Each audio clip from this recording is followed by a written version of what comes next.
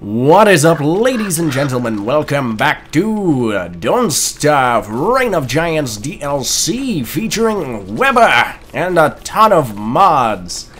So many mods we can't even keep track. Oh yes, we can. Um, I added a couple new mods to the to the pack just because I thought they would be cool, and I've also decided upon the area in which I am going to build my base. You guys also might notice that I am, you know, a little nasally today. That's because I have absolutely zero control over my nasal cavity. That's right, the mucus has moved in, and if that doesn't make you gag, then, well, you've got a pretty strong stomach. Not really. Anyways, um, I, I digress. I digress. So we are going to build our base right here. And the main reason for that is because it is close to two roads, for one, and uh, both of these roads basically lead out to all of the major resources in the map which means that we can get around uh, the place pretty quickly. However, it isn't as you know, homey as I would like. Like, this map is really spread out for resources. We got some beefalo over here, we got all of our bees way the heck up here, and, uh, and we've got all of our cocoa beans over here. And I'm to be trying to make as much chocolate as freaking possible.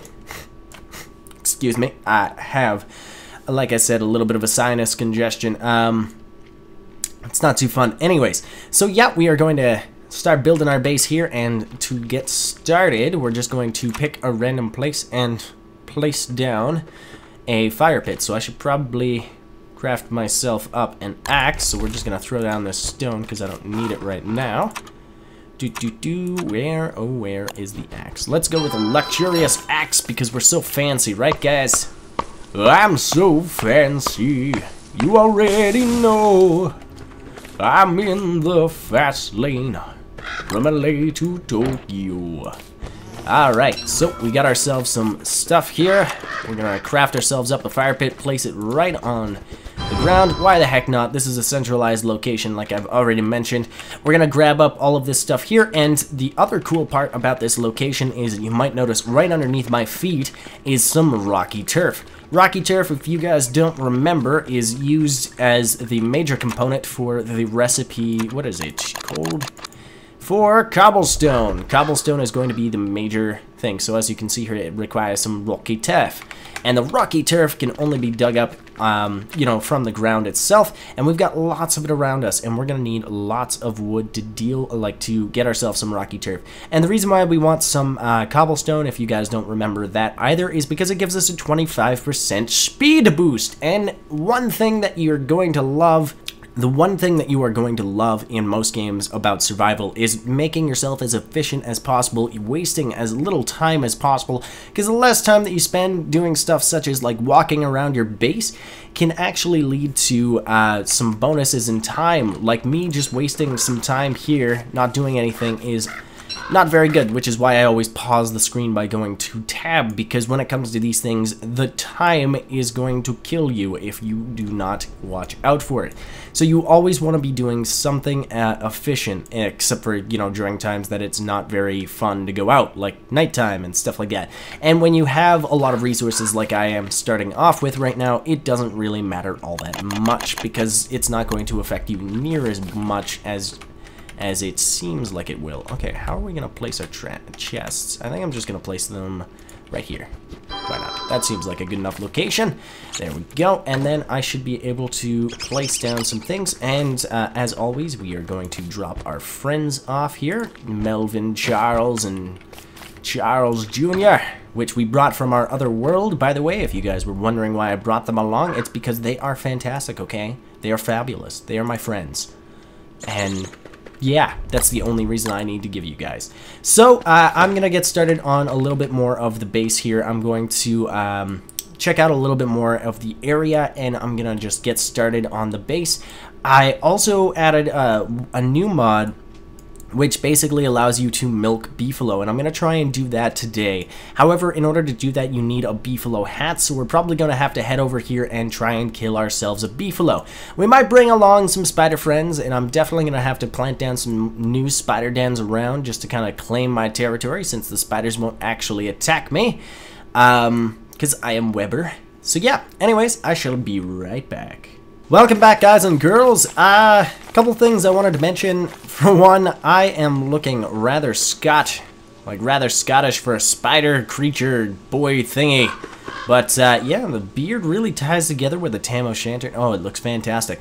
One thing about the beard, you might notice I had to throw on my amulet, my chilled amulet. Uh, we got overly warm. Even though it is in autumn, it still has a little bit of the after effects of... Oh, also because I had the thermal stone on, because I am a derp. Um, but it also has a little bit of a residual heat in it in the autumn season, so you can get a little bit of rain, you can get a little bit of heat.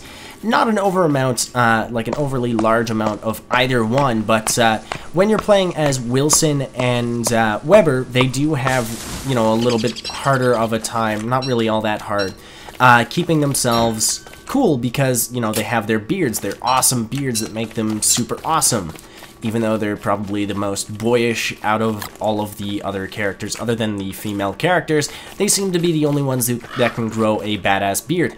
Um, Webber's beard, by the way, when you shave it off, gives you silk instead of uh, instead of beard hair, which kind of sucks to be honest, because like he's all about the spiders and stuff, and he'll be able to get lots and lots of silk from the spiders because they don't really hurt him, especially if he feeds them properly. So um, but I can understand why they did that because, you know, he's all about the silk and the spiders and stuff, which is cool. Uh, so that's one thing that I had to watch out for. The other thing that I wanted to mention is you guys are all, like, I had a couple people asking me how I get so many rocks, and all I can really say is you really have to look for them because they are scattered everywhere. And in my last world, I actually had like a rocky turf area that was just completely filled filled to the brim with rocks, and sometimes you get lucky, sometimes you get bees. Uh, lots and lots of bees instead of rocks. But uh, there's always rocks scattered all over the map, and all you have to do is just grab all of them as you can, as you please. Um, I don't actually recommend building yourself like a massive base like I had last time. That's actually a pretty big waste of rocks considering giants will just run through it and uh, they're the only enemies that are really going to be attacking you in that base anyways, whereas all of the hounds and stuff, which by the way I should probably get ready to face because they're going to be showing up on day 8 or I think like 11 or 13 is the latest, and uh, the hounds and other creatures like that, you're basically just going to kite them through your little houndtooth pit, so there's no real point in using all of the rocks like I did, and that actually hurt me. So like this time around, I think I'm going to be um, not building so much of a base. I might build something to like protect my stuff. I might build like a vault or something like over here, and I'll just never go to it until I need those stuff. So I'll have like a surplus of items over there that I will not touch. And that way, uh, if anything goes horribly wrong, I can just rush over there, get my items, and I'll be in a good scenario. But uh, we're not going to be doing that for quite some time, which is quite alright with me. Uh, anyways, the other thing that I wanted to mention is I have a mod. I have I can add fuel. That uh, basically after a set amount of time, if you feed some some logs to a fire, and I right after I told you guys about me overheating, um, I go and do this. But uh, basically, if I feed some logs to a fire of after a certain amount of time, I should be able to harvest it, as you can see here, harvest fire pit. And when I do that, it's actually going to give me some charcoal and some ashes. That time I gave me one charcoal and two ashes, because I already had some in my inventory. Actually, I think it might have been two charcoal. And it basically, uh, it reduces the amount of fire that I have, but... Um, but it gives me charcoal and ashes. That way I don't have to go around burning trees. And it's a lot less expensive because that gave me two charcoal for I think like three wood. Whereas burning down an entire tree is like a sapling and then you have to go with like the highest amount of wood you can get from a tree which is four. So it's four wood and one sapling per one of those things. And that's just ridiculous. Also, I think there's another cocoa tree there. So yeah, that's a that's another mod that I recently added in uh, in between this ep episode and the uh, and the last one. So yeah, that's really nice because that way we can get ourselves. Uh, I don't really care too much about the ashes to be honest, but that way you don't have to waste any items just burning stuff up, and that way we can get ourselves a crock pot, which we're going to need. I think I already had one of these built, too. Yeah, I did. Well, look at that. Look at me, Mr. Prepared. But that is a very easy way of getting a crock pot, which we are definitely going to need. And I always put my crock pot really close to my fireplace. Uh, the main reason for that is because I do all of my cooking and crafting during the nighttime because there's not much that you can do during the night. I ate all of my food, unfortunately, and uh, it got me all the way up to my 175 that I'm normally at. But uh, as you can see, we're, we're really low now. So yeah, we're definitely going to need the crock pot. I'm going to have to get myself some more food, and uh, I think what we're going to do is I'm going to wait out the night, and then I'm going to meet you guys over, and we're going to go fight ourselves some beefalo. So I shall be right back. Of course, before we can uh, fight the beefalo, we're going to need a little bit of spider help. We don't have any food for the spiders right now, so what we're going to do is we're just going to plant down some... Um, some of these things. Two of these uh, these little spider dens that we had, by the way, are from our Wigfrid playthrough, so I kind of brought them along. It feels a little cheaty, but at the same time, it feels so right. So, uh, there's a bit of a problem with, uh, with Webber. You can't really farm spiders the normal way that you would. Uh, the main reason for that is because you can't just step on their web and then have a trap on the ground for them. So if I go and place that down, um, it's not going to attract any spiders. I'm not going to be able to harvest any spiders, which we kind of need to do because in order to get spiders on our team to fight the beefalo, we're going to need some food. And in order to, you know, get food, we kind of need to fight the beefalo, so we're in an infinite loop. So I think what I might do is I might head down here and uh, see if I can't, you know, lure out some spiders and fight some spiders, because spiders are definitely easier to deal with than beefalo are. Now, I'm not going to fight these spiders that I placed down because, uh, well, there's three of them together, and that could get pretty hairy pretty fast. Haha, spider jokes. Anyways, that was some humor right there. There we go. And now all we have to do, oh, is fail horribly at catching everything. And then forget how we attack, because I haven't played this game in forever. Okay, and there we go. We got ourselves a little bit of uh, monster meat, and I apologize for it. Ah, that, that. Okay, so there's no more in there. Um, I thought I would get a little bit more than that, but I guess that should be okay. I might actually go and uh, disobey what I just said, and let's just heal ourselves up really quick. There we go.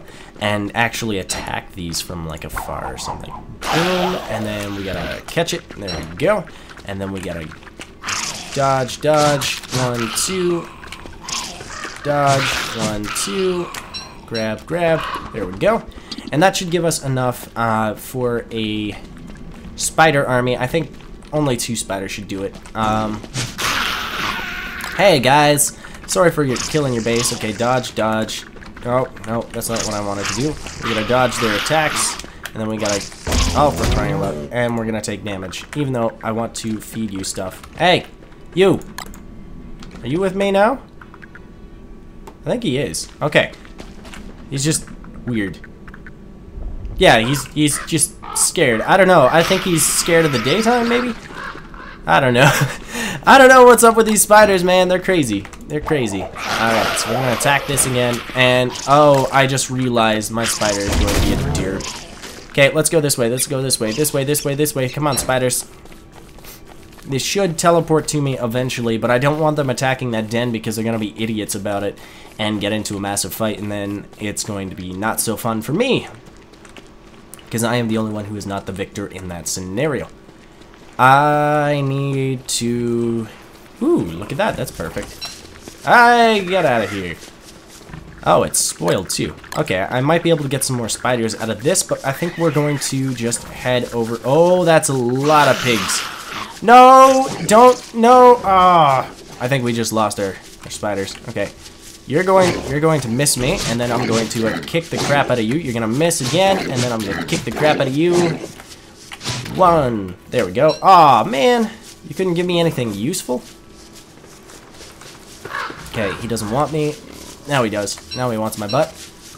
Nope. Oh, oh, oh, they're playing around with me. They're playing around with me. He doesn't know what to do. He doesn't know what to do, man. He missed. Oh, oh. Okay. Oh, oh. Uh, torch is low, but I must defend. But but the torch. But the I I must defend. Oh, he actually got me that time. One, two. Oh, he got me that time. Okay, there we go. Got him. Save the king. I'm protect. Oh, he actually got me. Okay, we are taking a large amount of damage because I just realized we are out of the log suit. I don't want to die. So I'm just going to leave for now. I'm going to get myself a little bit more situated with... Uh, oh my goodness, I don't have any health. I don't have any food. What am I doing with my life?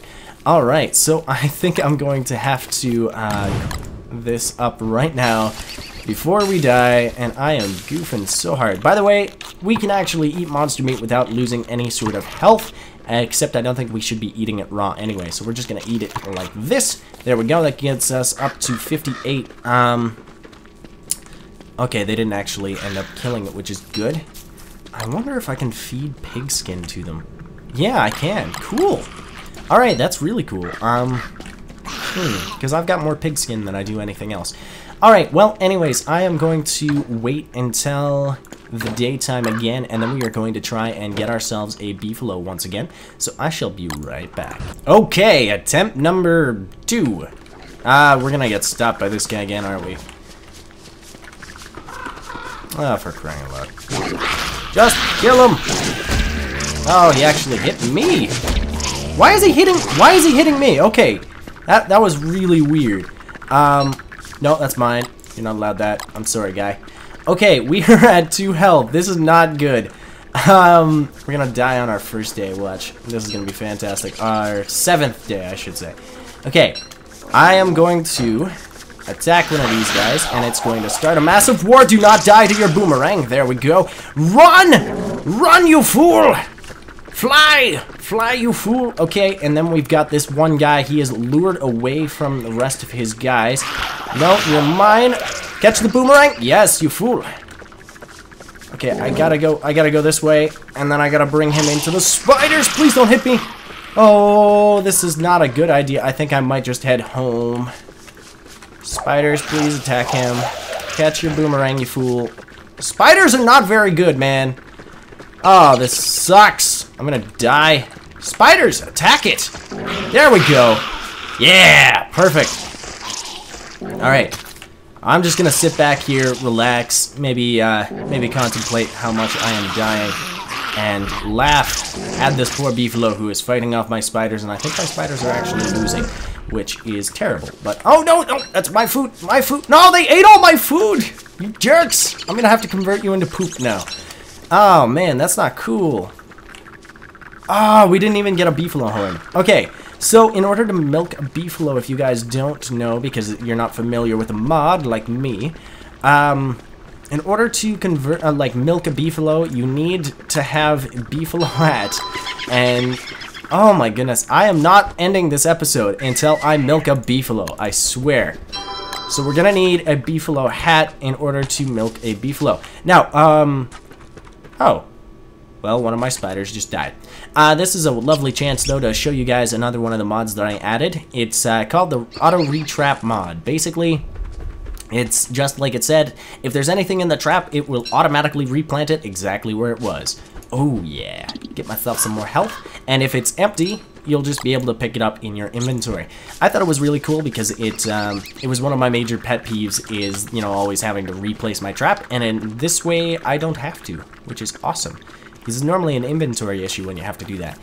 Um, that was really, really unsuccessful. I am probably going to die now of starvation, although I do have some seeds, so I'm probably going to have to forage around, and I shall be right back once I am ready for attempt number, like, 34. Nah, Attempt number three. Anyways, let's let's go. Welcome back, ladies and gentlemen. Unfortunately, I have to go back on my word to uh, milk a beefalo today because, well, as you can see, we are really low on health and I am really low on time.